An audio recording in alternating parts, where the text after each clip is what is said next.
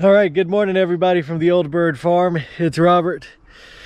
And uh, Aaron's already beat me out here today. What are you doing over there, buddy? Nothing. That uh, What are you doing? that doesn't look like work today. Sure it does. This is. Where's the tractor? I don't know. I guess it's still back there. I hope. Do you even care at this point? no. well, it looks like uh, we're going to be doing something a little bit different today. Yes, we are. We uh Robert passed a little creek up the road. Saw a guy pulling a bunch of little brim out. He's like, Man, we were to do like a, a fish fry and go fishing. I'm like, Well, yes, yes, we should. That's right. so uh especially after yesterday, because yesterday about kicked my butt, man. That was some Yeah. hard work. Uh we're we're gonna go fish and then we're gonna come back and do a fish fry, kind of like we did our brats, make everybody hungry, do some fried potatoes and and clean some brim and we're gonna make it a I decided this we're, we're gonna make it a little competition Uh oh. yeah so we're gonna make a little competition and we're gonna go out here and see who catches the most fish everything's got to be a competition Oh, that's right. All right. Well, I mean, I got my got my fly rod right i got here. mine I had, to, I had to go through and see if i had some special sauce in my bag here Uh oh. and I got my lanyard i don't fish much Yeah. Tell someone. Tell that to someone who will believe it. All right. Let's get down to the creek.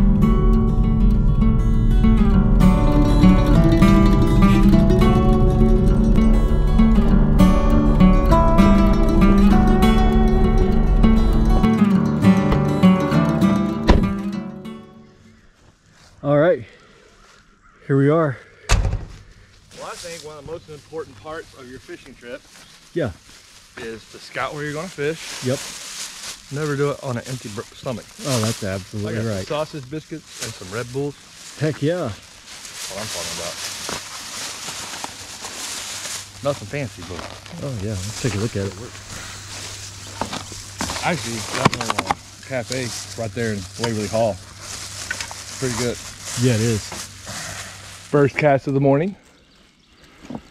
We're gonna switch over to the other side, but we'll see if anything happens. Got him. Already. Tree fish. Yep.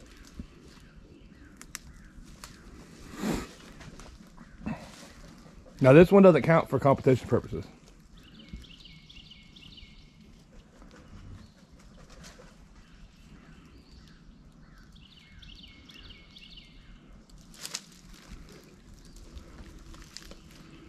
Okay.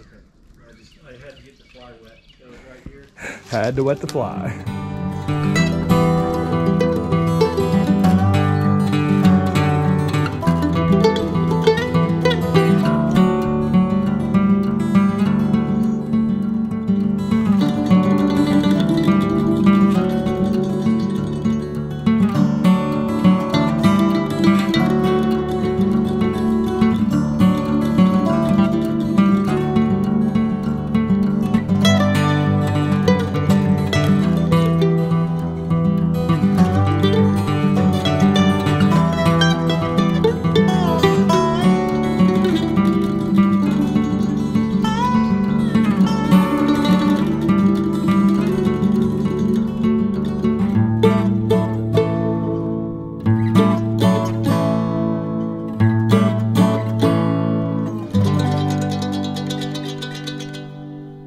All right, so we're probably about an hour and a half into fishing, and the board is um, well, that's what Aaron caught, and they're all the ones that I, I mean, Aaron also caught down there.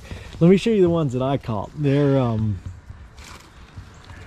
they're still in there somewhere. so Robert, Robert had a change of heart, and decided he just couldn't take them away from their fish family, so yeah, I was just throwing them all back, you know. Um, but also, I see something has changed here, and this is the real reason that Aaron's way up on the board in this competition.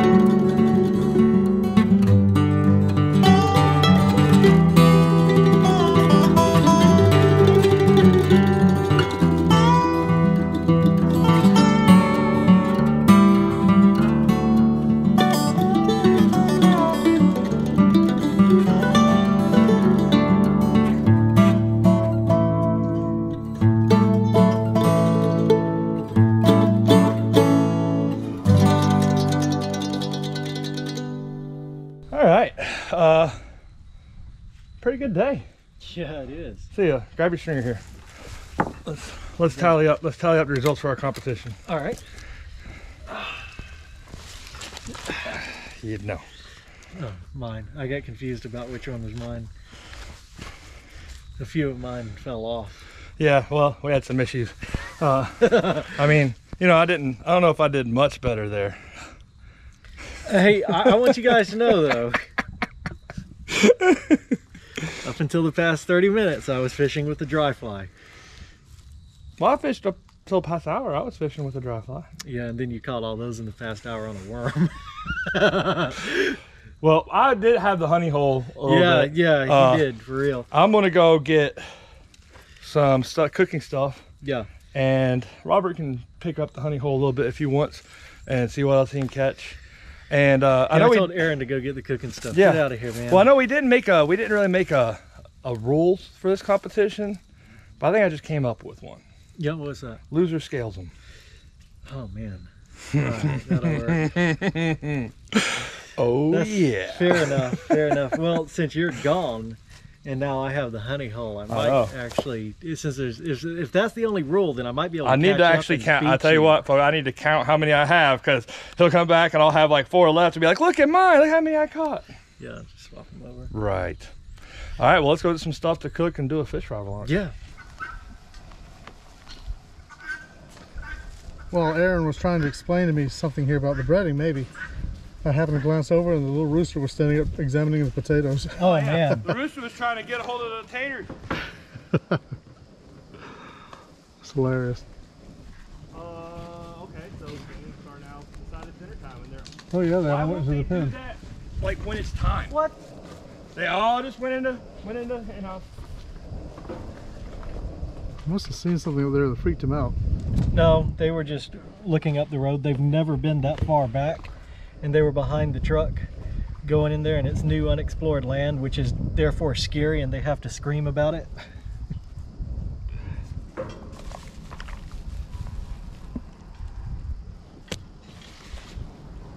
Guineas are the best.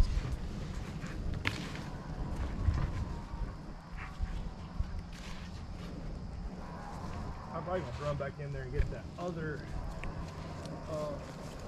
paper towels. But I didn't think about needing some for putting the uh, potatoes on. But that's only if you want to be really healthy. Otherwise, you just grab them out of the pot. Yeah,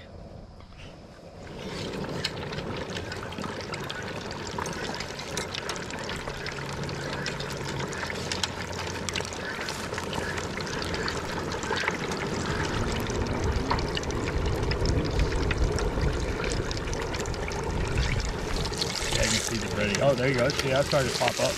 Yep. Oh man. Oh man. I think there's one. Oh, shit. Yeah, how it Yep. float up? They got done and it said, hello, here I am eating.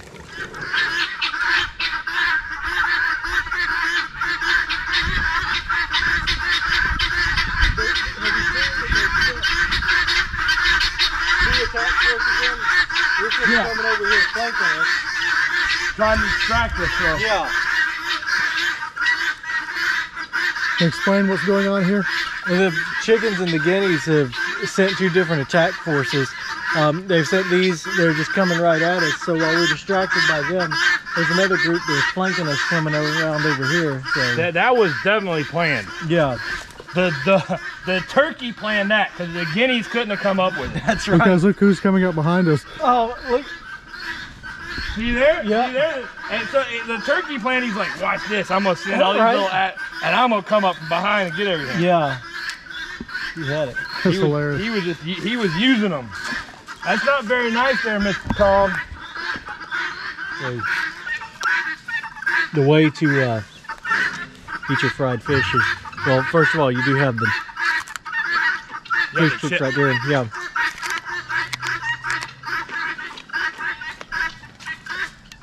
And then you just come in and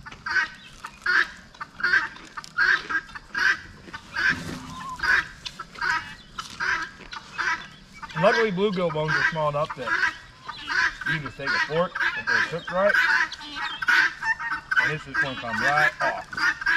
I'm tired. I got.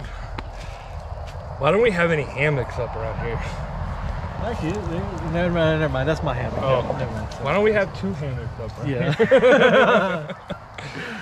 All right, guys. Hope you enjoyed that. Just a fun day to do a little bit fishing and how to do a fish fry and hmm just uh, a day not working around the homestead or the Yeah, farm. that's right. This is a good day. Sometimes you need a day just not working. Right. And this was this was a good day. Yeah. This was a good day. It was fun. All right, guys. Well, hope you enjoyed. Make sure and uh, share, like, and subscribe to the channel, uh, Best Family Homestead, and watch your step. And we'll see you guys on the next video. See you next time. We're, we were in the same shirt. Almost, huh? Oh, look, How embarrassing. I gotta go change now. Twinsies! I just noticed that.